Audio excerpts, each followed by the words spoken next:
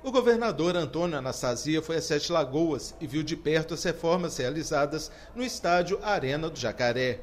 12 milhões de reais foram investidos pelo governo do estado para que o estádio passasse a receber os jogos de Atlético, Cruzeiro e América, enquanto Mineirão e o Independência em Belo Horizonte estão fechados para as obras da Copa de 2014.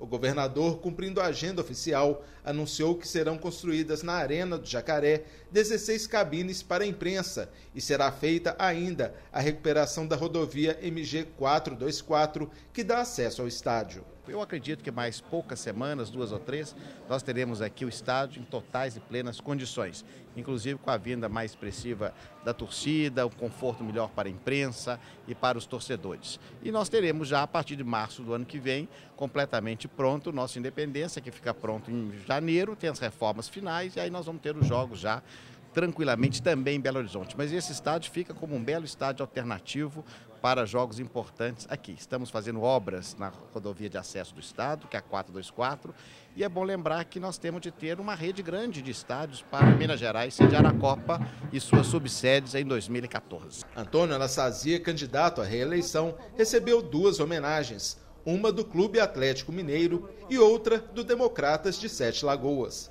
Depois assistiu na Arena do Jacaré a partida do Campeonato Brasileiro entre Atlético e Internacional. Atleticano entusiasmado, ele comemorou o gol de Diego Souza. Mas o time perdeu por 2 a 1. Antônio Anastasia recebeu o apoio da torcida, que homenageou também Aécio Neves e Itamar Franco, candidatos ao Senado pela coligação Somos Minas Gerais.